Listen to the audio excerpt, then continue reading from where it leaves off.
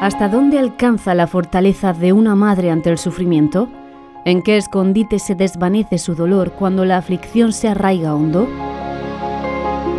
Un sentir, el de la madre dolorida, que la pregonera de la Semana Santa de Murcia recogía con devoción. Nuestras madres son las herederas de un sentimiento y una tradición tan humana que viendo a la Madre de Dios en cada encuentro, se torna divina rostros y gestos que trazan un amor en mayúsculas, capturados por maestros del arte como en esta dolorosa de la parroquia de San Lorenzo.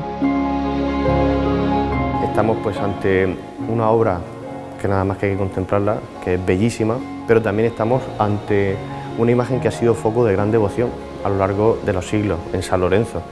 Un bello espectáculo, catequesis de fe para aquellos que nos visitan y suscita en nosotros los profesionistas una fuente de amor a tanta belleza.